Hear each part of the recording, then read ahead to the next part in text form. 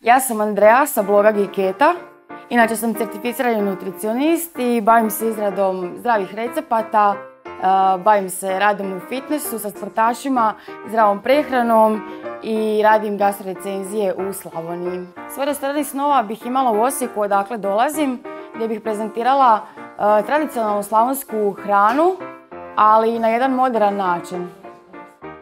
Mislim da je najluđe što sam skuhala, pa volim raditi razne kombinacije, recimo sa picom, tako da je to bilo e, stvarno različitih kombinacija gdje je pizza nadjev imao i ribu i podlogu od bundeve i razne razne kombinacije. Dovela bi ga u Osijek i pokazala bi mu također tradicionalnu slavonsku prehranu na modern način. Možda bi mu napravila nekog smuđa u nekakvom umaku, ne znam. Možda bi se poirala sa riječnom ribom. Ako koka i pol, u dan i pol snese jaje i pol. Koliko će jaja snijeti 9 koka za 9 dana? Nemam pojma.